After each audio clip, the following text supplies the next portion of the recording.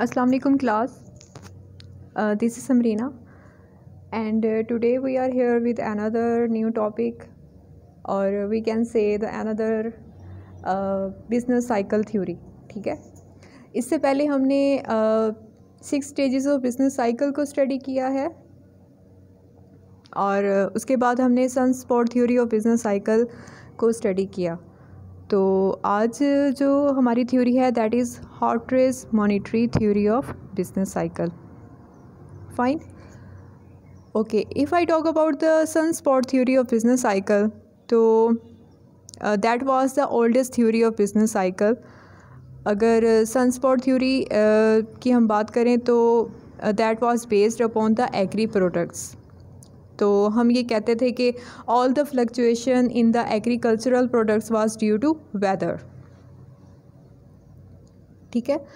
तो but today our theory is pure monetary theory so हम ये कह सकते हैं as by the name money से इंडिकेटेड है this theory is totally based upon money तो today uh, uh, we will discuss that all the fluctuation in the business uh, in this theory is due to money fine so let's start our topic Hartree monetary theory of business cycle it was presented by Hartree he was a British economist and uh, उनकी एक book publish हुई थी like in 1929 the name of book was the monetary theory of trade cycle इस book में उन्होंने trade cycle या फिर हम बिज़नेस साइकिल जैसे कि हम कह रहे हैं के बारे में बताया कि किसी इकोनॉमी में जो बिज़नेस साइकिल बिज़नेस में जो भी फ्लक्चुएशन आती हैं, उनका मेन रीज़न जो है, वो क्या होता है? क्वांटिटी ऑफ़ मनी ठीक है? मींस कि क्वांटिटी ऑफ़ मनी ही जो है वो बिज़नेस में फ्लक्चुएशन का एक मेन uh, रीज़न है। Q T M Q T M भी जिसको हम कहते हैं फिशर्स अप्रोच में हमने इसको देखा है that quantity theory of money तो इन शॉर्ट हम क्वांटिटी ऑफ़ मनी भी कहते हैं। क्वांटिटी ऑफ़ मनी में अगर हम चेंजिंग्स जो है वो uh, आ जाएँ लेकिन यानी कि जो भी क्वांटिटी ऑफ़ मनी है उसमें जो भी चेंज आता है इसी से ही बिज़नेस साइकिल में भी चेंजिंग्स आएँगी।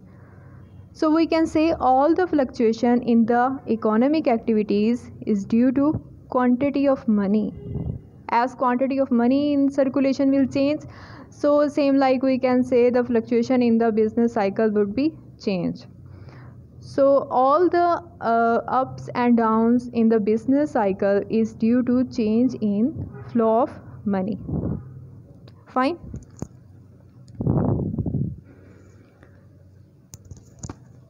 Okay यहाँ पे एक और बात है कि expansion of bank credit expansion of bank credit means like अगर बैंक जो है वो क्या कर देता है? मनी सप्लाई को बढ़ा देता है.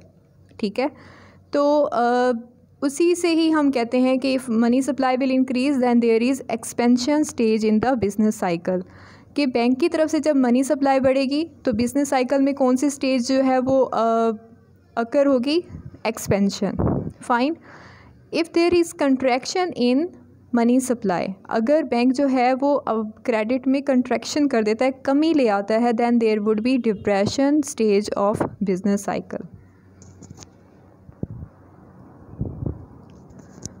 और shortage of reserve is equal to contraction यानी कि जितना ज़्यादा जो है वो बैंक के पास रिज़र्व जो है वो शॉर्ट हो जाएँगे तो कंट्रैक्शन फ़ेज़ आएगा या फिर हम डिप्रेशन की बात कर सकते हैं और उनके रिज़र्व जितने ज़्यादा बढ़ेंगे तो वो एक्सपेंशन को uh, जो है वो मीन्स डिफ़ाइन करते हैं। so uh, in the other hand the flow of money will increase then there is expansion in the business cycle as on the other hand the flow of money will decrease then there would be contraction or depression in the business cycle fine यहाँ पे आपके सामने एक flow uh, बना हुआ है flow chart है money supply will increase then it cause the increase in credit expansion fine then decrease in reserve and increase in investment यानी कि मनी सप्लाई जब बैंक की तरफ़ से बढ़ती है तो क्रेडिट क्रेडिट जो है वो इकोनॉमी में या एक्सपेंड कर जाता है, बढ़ जाता है। तो बैंक के पास जो है वो रिज़र्व कम हो जाते हैं, क्योंकि उन्होंने मनी सप्लाई बढ़ा दी है, ठीक है? तो मनी सप्लाई जब इकोनॉमी में बढ़ती है तो इन्वेस्टमेंट वुड बी इंक्रीज़ ठीक है? इन्वेस्टमेंट बढ़ती है more spendings on consumer goods और सर्विसेज़ और फॉरेन गुड्स अब इन्वेस्टमेंट बढ़ने से क्या होता है?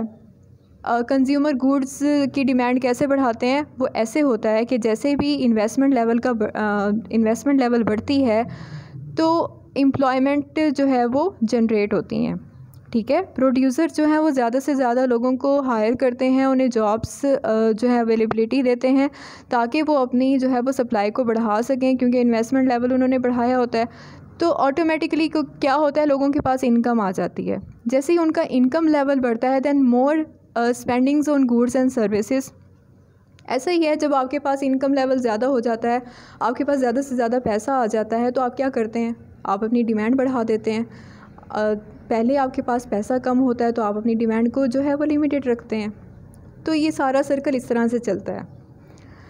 और उसके बाद अपने इंपोर्ट को भी आप बढ़ा देते हैं, यानी कि बाहर से भी प्रोडक्ट्स को आप इंपोर्ट करते हैं। तो ये सारा जो है, अब यहाँ पे कह रहे हैं कि मनी सप्लाई रिड्यूस कब होती है? मींस कि डिप्रेशन फ़ेज़ की तरफ़ कब जाती है इकोनॉमी जैसे मनी सप्लाई बैंक की तरफ़ से बढ़ी है, लोगों के पास इनकम लेवल बढ़ गया है अनएम्प्लॉयमेंट में कमी आ गई है डिमांड ज़्यादा हो गई है ऑल दैट इकोनॉमी ग्रो की तरफ़ जा रही है, यानी कि ग्रोथ कर रही है। तो वो एक्सपेंशन की तरफ़ जा रही है पीक पॉइंट पे भी जा रही है। लेकिन वो दोबारा से डाउनवर्ड कब आएगी? जब बैंक के पास क्या होता है? रिज़र्व कम हो जाता है, क्योंकि उन्होंने मनी सप्लाई बढ़ा दी है। ऑलरेडी वो अपना ज़्यादा रिज़र्व जो है वो इकोनॉमी में अवेलेबल कर चुके हैं। तो जितना ज़्यादा रिज़र्व जो है वो इन द इकोनॉमी जितनी ज़्यादा मनी सप्लाई होगी बैंक के पास रिज़र्व कम होगा। तो जब बैंक के पास रिज़र्व कम होता जाएगा तो वो ऑटोमेटिकली क्या हो जाएगा? वो मनी सप्लाई को और तो नहीं बढ़ा सकेंगे ना? तो एक स्टेज ऐसी आती है जिस जहाँ पे क्या होता है मनी सप्लाई दोबारा डिक्रीज़ होने लग जाती है और वो हमारा डिक्लाइन या फिर हम क्या कहते हैं डिप्रेशन स्टेज आती है ठीक है? ओके। अगर हम इसको स्टेज वाइज डिस्कस करें तो भी आ, ऐसा ही है। एक्सपेंशन की अगर बात करें तो मनी सप्लाई बढ़ती है क्रेडिट एक्सपेंड हो जाता है फ्लो ऑफ़ मनी बढ़ जाती है and total expenditure will also increase जैसे हमें देखा कि तो फिर इंटरेस्ट रेट भी कम होता है तो बिजनेसमैन जो वो क्या करते हैं, वो अपनी गुड्स की प्रोडक्शन बढ़ा देते हैं, ठीक है? तो इस तरह से मींस कि सारे factor of production stage one जो है एक्सपेंशन में बढ़ रहे होते हैं। नेक्स्ट स्टेज की अगर हम बात करें लाइक बूम या जिसको आप पीक पॉइंट कहते हैं, जिस, जिसको आपने स्टेजेस में स्टडी किया है। जब क्रेडिट का फ्लो बढ़ जाए तो क्या होगा? डिमांड तो इंक्रीज़ हो रही है, और एक्टिविटीज़ आर आल्सो इंक्रीजिंग लेकिन लगातार इंक्रीज़ होते रहेंगे। उसके मीन्स कि बूम पे जाके तो ये सारी एक्टिविटीज़ जो हैं वो इंक्रीज़ हो रही हैं। All the economic factors are increasing and economies economy is going to for the increase increasing way and the business cycle is also at the peak point but after that when recession would start तो क्या होगा? यहाँ पे वही बात है if government stop expending credit outflow होता ये है कि जब बैंक जो है वो अपने रिज़र्व कैश जो है वो कम हो जाता है तो वो मनी सप्लाई कम कर देता है तो यहाँ पे हमारे पास रिसेशन फेस जो आ जाता है। मींस कि यहाँ पे प्रीवियसली अगर हम इस फ़्लो चार्ट की बात करें तो सारी स्टेजेस जो हैं वो यहाँ पे एक्सप्लेन कर दी गई हैं। आगे आप इसको स्टेज वाइज भी एक्सप्लेन कर सकते हैं। Okay okay. यहाँ पे कुछ दो रीज़न्स बताए गए हैं कि प्राइस जो है वो क्यों बढ़ती है उसके क्या रीज़न्स होते हैं। When price began to rise business man think they would rise further which include them the investments के राइज जब बढ़ uh, जो हैं वो बढ़ जाती हैं तो बिजनेसमैन को लगता है कि फ़र्दर भी प्राइस में इजाफा होगा तो वो क्या करते हैं? वो अपनी इन्वेस्टमेंट लेवल को बढ़ा देते हैं। Rising prices reduce the real level of idle money balances with the people uh, which indicate them means के दो रीजंस जो है वो हार्टरे ने यहाँ पे बताए हैं कुछ uh, कि प्राइसेस जो है वो क्यों बढ़ सकती हैं ओके okay.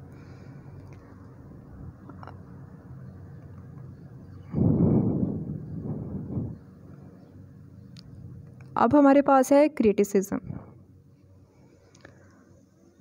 क्रिटिसिज्म में ये है कि मनी सप्लाई और flow of credit is main reason in any business cycle यहाँ पे वो क्या कह रहे हैं कि क्रेडिट ही मेन रीज़न है बिज़नेस साइकिल में। और कोई रीज़न हो ही नहीं सकता तो ऐसा ज़रूरी तो नहीं है। कुछ इकोनॉमिस्ट इस चीज़ को क्रिटिसाइज़ करते हैं। It is not for all the situation और फैक्टर्स भी इंक्लूडेड होते हैं। बिज़नेस साइकिल जो है जस्ट आपकी क्रेडिट क्रिएशन या उसकी सर्कुलेशन पे बेस नहीं करता। Fine so this was the criticism and the second one is uh, they have said Hartrace argued that banks are always the leader in the economic activities मतलब इस theory की अगर हम बात करें जैसे कि ये थ्योरी जो है वो प्योर मॉनिटरी थ्योरी है। तो uh, वो कहते हैं कि banks are always the leader जो बैंक हैं, वही लीडर हैं, वही इकोनॉमिक एक्टिविटीज़ को कंट्रोल करते हैं, उन्हीं की वजह से इकोनॉमी में जो है वो अप्स एंड डाउन्स आते हैं, जबकि ऐसा नहीं है। हमेशा बैंक्स जो हैं, वही लीडर नहीं होते other factors are also there so this is the criticism by the economist okay कुछ इकोनॉमिस्ट ये भी मानते हैं कि बिजनेसमैन जो है वो एक्सपेंशन और कंट्रैक्शन जस्ट मनी सप्लाई से ही नहीं होता। यानी कि उनके बिज़नेस में फ्लक्चुएशन जो है, वो जस्ट मनी सप्लाई के बढ़ने या कम होने से नहीं होती। और फैक्टर्स भी इंक्लूडेड होते हैं। कुछ लॉस जो है किसी और रीज़न की वजह से भी हो सकते हैं। जैसे यहाँ लिखा हुआ है assumes that business man are more sensitive to the interest rate means कि जैसे इंटरेस्ट रेट कम होता है तो इन्वेस्टमेंट लेवल बढ़ जाता है। तो it is not possible for all the situation so many other reasons are also there so these were just the criticism of this theories I think it would be clear to all of you